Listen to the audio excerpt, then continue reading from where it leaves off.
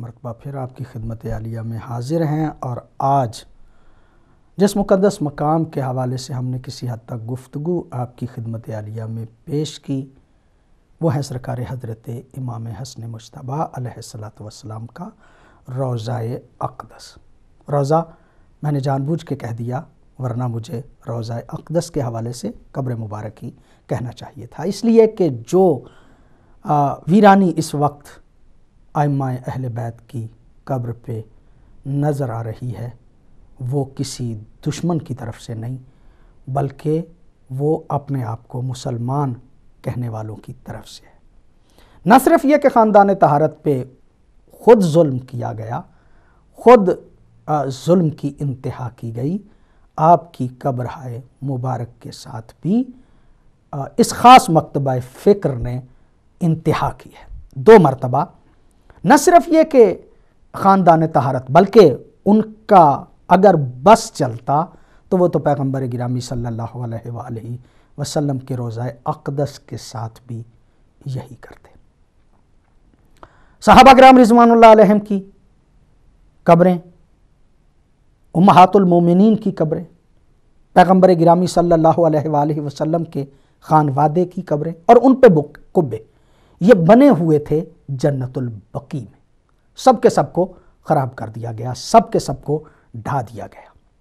اور اب جو حالت ہے، وہ ہم نے آپ کو دکھائی ابھی تھوڑی دیر پہلے کہ جنت البقی میں ان آئمہ کی قبروں کی کیا حالت ہے۔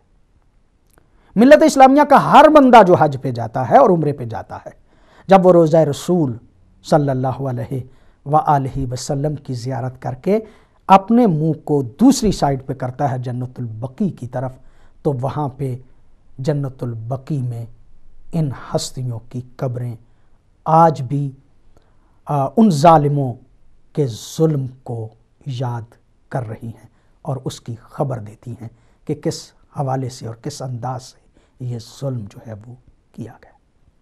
ملت اسلامیہ کے تمام لوگ اہل بیت رسول سے محبت رکھتے ہیں ان سے پیار کرتے ہیں اولیاء اللہ سے پیار کرتے ہیں۔ ان کے مزار پہ جانے اور ان کو اللہ کی بارگاہ میں توسط و وسیلہ بنانا ایک عقیدہ و نظریہ رکھتے ہیں۔ کچھ لوگ ایسے ہیں کہ جو یہ نظریہ نہیں رکھتے۔ کالر میرے ساتھ ہیں۔ جی السلام علیکم۔ وعلیکم السلام۔ حضرت قبلہ جناب یزدانی صاحب مقصود سے سیدہ کر رہا ہوں واٹفورڈ سے۔ جناب علی۔ یقین مانیے میں نے ابھی ایک منٹ ہوا ٹیلی ویژن آن کیا مجھے پتہ نہیں آپ کا ٹاپ مقدس مقامات لکھا ہے لیکن الحمدللہ مقدس شخصیات میں آپ کی زیارت میں میری بہت خوشی ہوئی ہم نے آپ کو بہت مس کیا اور فی الواقع ہی ایسا ہی ہے کہ دلی طور پر کافی چاہت تھی الحمدللہ بخیر واپس آئے چیز لے کے واپس آئے دعاؤں میں یاد رکھیں انشاءاللہ ملاقات ہوتی رہے گی۔ بڑی نوازش بہت مہربانی۔ بڑی نوازش۔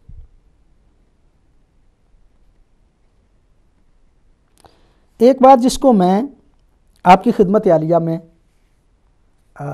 ابتدا میں جو ہے وہ عرض کر رہا تھا کہ جب سرکار حضرت امام حسن نے یہ وصیت فرمائی کہ مجھے جو ہے وہ روضہ رسول میں یعنی پیغمبر گرامی صلی اللہ علیہ وآلہ وسلم کے جوار میں جو ہے وہ دفن کیا جائے۔ اور اگر لوگ دفن نہ کرنے دیں تو پھر جنت البقی میں دفن کیا جائے۔ تو جو شخص سب سے زیادہ جس نے حسد اور دشمنی کا اظہار کیا، وہ مروان ابن حکم ہے۔ یہ مروان ابن حکم، میں نے اس بات کو عرض کیا تھا، لیکن ایک چھوٹی سی بات جس کو میں دوبارہ وضاحت سے عرض کرنا چاہ رہا ہوں۔ اس وقت چونکہ سیاست، مدار جو ہے، وہ سیاست کہ اس کے کئی ایک رنگ ہوتے ہیں، کئی ایک انداز ہوتے ہیں۔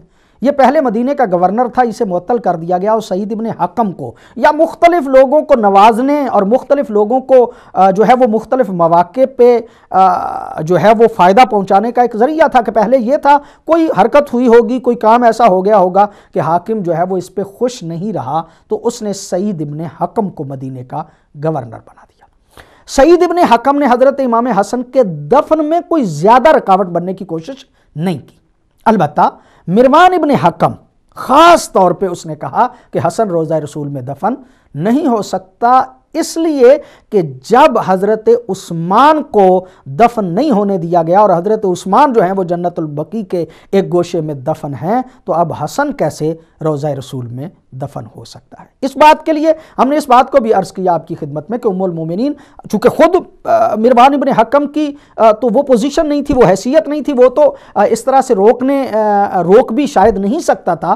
اس نے اسی کام کے لیے اپنا ہم نوا بنایا ام المومنین حضرت عائشہ رضی اللہ تعالی عنہ کو، کیونکہ کہا جاتا ہے کہ یہ حجرہ انہی کا حجرہ تھا۔ لہٰذا وہ اس بات میں انہوں نے ساتھ دیا۔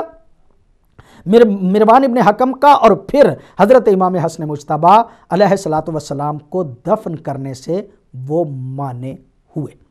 معاملہ یہاں تک کہ گیا کہ حضرت امام حسین علیہ السلام نے بھی اپنے حلف الفضول والے اس معاہدے کے اعتبار سے وہ لوگ کے جن کا خاندان تہارت کے ساتھ معاہدہ تھا، ان سے مدد طلب کی یا کرنا چاہتے تھے کہ درمیان میں کچھ بزرگوں نے کچھ صحابہ کرام رضوان اللہ علیہ میں ان میں سے کچھ عزیز بھی تھے، مثلا حضرت محمد بن حنفیہ جو چھوٹے بھائی تھے، اور حضرت ابو حریرہ کے جو ایک صحابی بزرگ سمجھے جاتے ہیں، انہوں نے اور کچھ اور لوگوں نے بھی اس معاملے میں سرکار امام حسین علیہ السلام کی خدمت میں اس بات کو عرض کیا کہ چونکہ مولا امام حسن کی وصیت یہ ہے کہ آپ اگر مدینے وہاں یہ دفن نہیں ہونے دیتے تو جنت البقی میں دفن کریں، ظاہر ہے اس وصیت کا سرکار کو بھی اس بات کا پتہ تھا، لیکن اس بات پہ کہ کیوں روکا جا رہا ہے؟ نانا بھی ہمارا ہو، جگہ بھی جو ہے وہ یقینی طور پہ ہماری ہو، اور اس جگہ پہ اور اس پہ میں نے عرض کیا کہ بڑا بڑا عجیب ایک جملہ، ایک شعر جو ہے وہ حضرت عبداللہ ابن عباس نے بھی جو ہے وہ بیان کیا تھا۔ بہرحال میں دوبارہ اس کا تذکرہ جو ہے وہ اس وقت نہیں کرتا۔ جب اس بات سے روکا گیا اور مروان ابن حکم نے جو ہے وہ اس بات پہ اصرار کیا اور امام حسن مجتبہ کو وہاں پہ دفن نہیں ہونے دیا، تو اسی کے، اسی کارنامے کے بدلے میں امیر شام نے مروان ابن حکم کو دوبارہ جو ہے وہ مدینے کا گورنر جو ہے وہ بنا دیا تھا۔ آپ تاریخ کے اور آپ کو پڑھ کے دیکھیے گا کہ مروان ابن حکم کو دوبارہ گورنری مل گئی۔ اسی بات پہ کہ اس نے حسن کو یہاں پہ دفن نہیں ہونے دیا اور جنت البقی میں دفن جو ہے وہ ہونے کے لیے اس کے اسباب فراہم کیے کہ وہ روزہ رسول میں دفن جو ہے وہ نہ ہو۔ چلیے، وہاں یہ دشمنی تو مروان ابن حکم کے ذہن میں تھی۔ مروان ابن حکم ظاہر سی بات ہے کہ حضرت خاندان تہارت کا ازلی دشمن تھا کینہ رکھتا تھا، بغض رکھتا تھا۔ اور اس کی وجوہات جو ہیں وہ کئی ایک ہیں۔ ہم ان کی، ان وجوہات کی طرف اس وقت نہیں جانا چاہ رہے، لیکن وہی فکر اور وہی سوچ جو ہے وہ بڑھتے بڑھتے آگے بڑھتی گئی اور اسی سوچ کے حامل اور خاص طور پہ کچھ نہ کچھ خوارج کی سوچ جو ہے، اس کے حامل افراد آج بھی موجود ہیں۔ مزارات مقدسہ کے حوالے سے کیا کچھ ہوا، کیا کچھ لوگ کرتے ہیں اور اس بات کا جو ہے وہ اندازہ ملت اسلامیہ کے تمام افراد کو جو ہے وہ موجود ہے۔ پتہ ہے کہ پاکستان میں بھی اور دنیا پہ مزارات کے حوالے سے لوگ جو ہیں وہ کیا کر رہے ہیں۔ حالانکہ قرآن حکیم کا واضح حکم تھا، وَمَنْ يُعَزِّمُ شاعر اللہ جن چیزوں کو دیکھ کے اللہ کا شعور ہوتا ہے، جنہیں دیکھ کے اللہ کا پتہ چلتا ہے ان چیزوں اور ان جگہوں کی تعظیم کرنا یہ قرآنی حکم ہے۔ ان صفا والمروہ من شاعر اللہ صفا اور مروہ جو ہے وہ شاعر اللہ میں سے ہے۔ چونکہ صفا و مروہ بھی وہ چیزیں ہیں ہیں اگرچہ پہاڑیاں ہی، لیکن وہ پہاڑیاں ایسی ہیں کہ جن پہاڑیوں پہ ایک مقدس خاتون کے ایک مقدس شخصیت کے لیے پانی ڈھونڈنے کے لیے وہاں پہ قدم لگے تھے۔ جن جگہوں پہ جناب حاجرہ کے قدم لگے تھے، اللہ رب العزت نے اس جگہ کو شاعر اللہ قرار دیا۔ کیونکہ جب بھی ہم ذکر کرتے ہیں صفا و مروہ کا، تو ظاہر ہے توحید کی اس عظمت کا ہمیں پتہ چلتا ہے کہ یہی وہ جگہ تھی کہ جہاں پہ جناب حاجرہ جو ہیں، انہوں نے سفر کیا تھا اور اس سفر میں پانی ڈھونڈنے کے لیے جو سفر کیا تھا، وہ پانی ڈھونڈا تھا ایک نبی کی خاطر، ایک ایسے اپنے فرزند کی خاطر کے جو آگے چل کے نبی ہونے والے تھے، ان کی خاطر یہ جو ہے وہ سفر جو ہے وہاں پہ کیا تھا۔ اس پریشانی کے عالم میں وہ جگہ جو ہے وہ شاعر اللہ قرار پاتی ہے اور اس کی تعظیم یہ تقوی کی دلیل ہوا کرتی ہے۔ ظاہر سی بات ہے کہ وہ لوگ کے جو اولیاء اللہ ہیں، وہ لوگ کہ جو خاندان تہارت کی شخصیات ہیں، وہ لوگ جو پیغمبر گرامی صلی اللہ علیہ وآلہ وسلم کے صحابہ کرام ہیں، ظاہر سی بات ہے کہ ان کی قبرہائے مبارک کی تعظیم کرنا اور وہاں پہ جا کے دعا مانگنا اور ان کے توسط سے اللہ رب العزت کی بارگاہ میں اپنی دعاؤں کو پیش کرنا، یہ ایک مکتب فکر کا تعلق ہے۔ اور مذہب اہل بیت میں تو ہم یقینی طور پہ سمجھتے ہیں کہ ان تمام اولیاء اللہ کے توسط سے اللہ کے حضور دعائیں جو ہیں وہ کی جا سکتی ہیں اور ان کی تعظیم کرنا ہم اپنے لیے ضروری خیال کرتے ہیں اور یہ ضروری سمجھتے ہیں کہ ان کی تعظیم جو ہے وہ کی جائے۔ لیکن برخلاف اس کے اس وہابی نقطہ نظر، اس سلفی نقطہ نظر، اس خاص طور پہ جو وہ ہے عبد الوہاب جو ہے، اس کے نظریے کے حامل افراد جو ہیں، ان کے بارے میں آج بھی واضح ہے، پوری ملت اسلامیہ جانتی ہے کہ جب حج پہ لوگ جاتے ہیں، عمرے پہ لوگ جاتے ہیں، اور حج اور عمرہ پہ جا کے روضہ اقدس یعنی پیغمبر گرامی صلی اللہ علیہ وآلہ وسلم کی جالی مبارک جو ہے، اس کا بوسہ لینا چاہتے ہیں، اس کی طرف ہاتھ کرتے ہیں۔ تو وہ ان کو اچھا نہیں لگتا۔ وہ سمجھتے ہیں کہ یہ بدعت ہے، وہ سمجھتے ہیں کہ یہ جو ہے وہ درست نہیں ہے۔ اور وہاں پہ صفیں باندھے ہوئے لوگ کھڑے ہوتے ہیں اس بدعت سے روکنے کے لیے۔ بزام خود وہ کہتے ہیں کہ اس کے قریب نہ جائیں۔ روضہ رسول کے قریب جانے سے روکا جاتا ہے۔ کیوں؟ اس لیے کہ ان کے نزدیک یہ بدعت ہے۔ حالانکہ قرآن نے کہا کہ من یعظم و شاعر اللہ فَإِنَّهَا مِن تَقْوَ الْقُلُومِ جو شاعر اللہ کی تعظیم کرتا ہے، یہ تقوی کی دلیل ہوتا ہے۔ بدعت نہیں ہوتا۔ یہ سمجھنے والی بات ہے۔ اور ظاہر سی بات ہے کہ جب قبور پہ وہاں سے نکلیں تو جنت البقی میں جائیں، جنت البقی میں جائیں تو جنت البقی میں خاص طور پہ معصومین کی وہ جو قبریں ہیں، ان کے دور ہی جنگلے جو ہیں وہ لگا دیے گئے ہیں۔ قریب جانا تو درکنار، وہاں پہ اتنی دور ہٹا دیا جاتا ہے کہ وہاں کوئی کھڑا ہو کے کوئی قریب جو ہے وہ نہ جا سکے۔ وہاں پہ لیکن عاشق جو ہیں، جو اہل بیت رسول کے ماننے والے ہیں، جو محب ہیں، وہ وہاں پہ جاتے ہیں اور ان قبروں کی ویرانی کو دیکھتے ہیں اور ویرانی کو دیکھ کے وہاں پہ دھاڑے مار مار کے روتے ہیں۔ یہ حالت ہے حسن کی قبر کی۔ یہ حالت ہے زین العابدین کی قبر کی، یہ حالت ہے محمد باقر کی قبر کی، یہ حالت ہے جعفر و صادق کی قبر کی، یہ حالت ہے مخدومہ زہرہ سلام اللہ علیہ کی قبر کی، یہ حالت ہے ائمہ اہل بیت کی قبر کی۔ لوگ پوچھتے ہیں، بتانے تک کے لیے کوئی تیار نہیں ہوتا۔ سرکار حضرت امام حسن مجتبہ علیہ السلام کی قبر اور پھر چونکہ یہ قبریں ساری اکٹھی ہیں، لہٰذا ذکر جو ہے وہ سب کے سب کا ساتھ میں اکٹھا ہو جاتا ہے۔ ہم نے آپ کی خدمت علیہ میں اس بات کو عرض کیا۔ کہ یہ وہ قبور جس کو جو ہے وہ دو مرتبہ جو ہے وہ گرایا گیا۔ ایک مرتبہ پہلے گرایا گیا اور پھر وہاں پہ قبریں جو ہے وہ بنی پھر وہاں پہ روزے جو ہیں وہ بنے پھر وہاں پہ ذریعہ جو ہیں وہ بنی لیکن پھر دوبارہ اس کو جو ہے وہ گرا دیا گیا اور اس کو خراب جو ہے وہ کر دیا گیا۔ پچیس شوال۔ یہاں پہ میں پھر آپ کی خدمت عالیہ میں اس بات کو عرض کروں گا کہ یہ اٹھارہ سو چھ ایک مرتبہ جو خراب کیا گیا وہ اٹھارہ سو چھ عیسوی عیسوی اعتبار سے میں آپ کی خدمت عالیہ میں عرض کر رہا ہوں۔ اور یا پھر دوسری مرتبہ جب خراب کیا گیا تو یہ انیس سو ستائیس جو ہے وہ عیسوی تھا جب جنت البقی کے تمام روزہ ہائے مبارک جو ہیں ان کو گرا دیا گیا، ان پہ ویرانی جو ہے وہ کر دی گئی۔ انہی میں سرکار حضرت امام حسن مجتبہ علیہ السلاۃ وسلام کی قبر ہے۔ انہی میں جناب سیدہ فاطمۃ الزہرا کی قبر ہے۔ انہی میں معصومین علیہ السلاۃ وسلام کی قبریں ہیں۔ انہی میں باقی صحابہ کرام رضوان اللہ علیہم کی بھی قبریں ہیں۔ انہی میں جناب فاطمہ بنت اسد کی قبر ہے۔ انہی میں جناب پیغمبر گرامی صلی اللہ علیہ وآلہ وسلم کی پھپھیاں جناب آتقہ جناب صفیہ، انہی میں پیغمبر گرامی صلی اللہ علیہ وآلہ وسلم کے فرزند حضرت ابراہیم، انہی میں شہدائے احد ہیں، انہی میں اور صحابہ کرام رضوان اللہ علیہم کی قبریں جو ہیں وہ موجود تھیں اور ان قبروں پہ روزے جو ہیں وہ موجود تھے۔ لیکن آج وہاں پہ ایک ویرانی نظر آتی ہے۔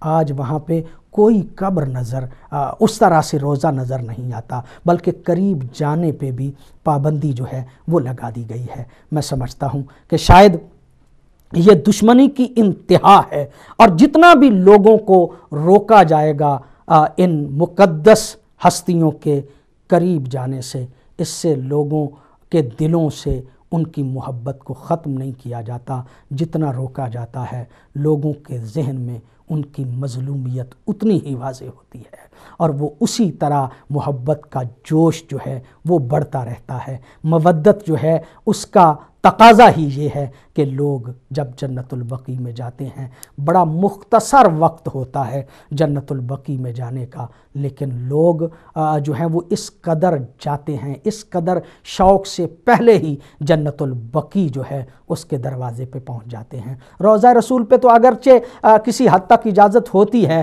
وہاں پہ بھی رش اس قدر ہوتا ہے، ہونا بھی چاہیے۔ ظاہر سی بات ہے کہ پیغمبر گرامی کے صدقے میں ہی یہ سب کچھ ہے۔ پیغمبر گرامی صلی اللہ علیہ وآلہ وسلم ہی اصل ہیں۔ پیغمبر گرامی ہی کی وجہ سے جو ہے وہ اہل بیت کی عزت ہے۔ پیغمبر گرامی ہی کی وجہ سے ازواج کا احترام ہے۔ پیغمبر گرامی ہی کی وجہ سے اصحاب کا عزت و احترام ہے۔ میں عرض کروں، پیغمبر گرامی کے روزہ اقدس پہ تو لوگ جاتے ہیں، وہاں پہ بھی قریب نہیں جانے دیا جاتا۔ لیکن چونکہ یہاں پہ ذرا زیادہ پابندی ہوتی ہے، یہاں پہ مخصوص وقت میں جو ہے وہ اجازت دی جاتی ہے۔ لہٰذا یہاں پہ لوگ پہلے ہی دروازہ کھلنے سے پہلے ہی وہاں پہ جا کے کھڑے ہو جاتے ہیں کہ کب دروازہ کھلے اور کب ہم ان اجڑی ہوئی قبروں کی جا کے زیارت کریں۔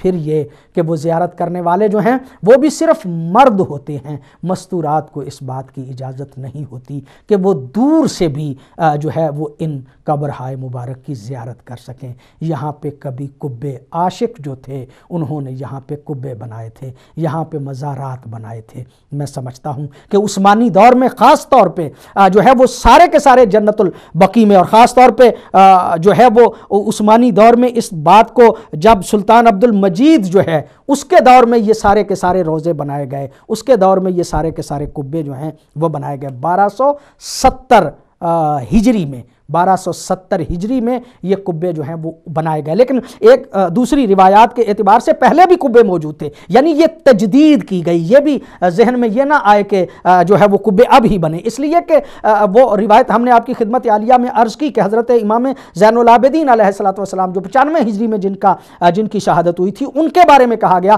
کہ ان کو دفن کیا گیا تھا قبائے حسن میں۔ یعنی اس سے پہلے وہاں پہ قبا جو ہے وہ بن چکا تھا۔ وہاں پہ روزہ مبارک جو ہے وہ بن چکا تھا۔ اسی روزہ مبارک میں حضرت امام زین العابدین علیہ السلام کو دفن کیا گیا۔ اسی میں سرکار حضرت امام محمد باقر کو دفن کیا گیا۔ اسی میں حضرت امام جعفر و صادق کو دفن کیا گیا۔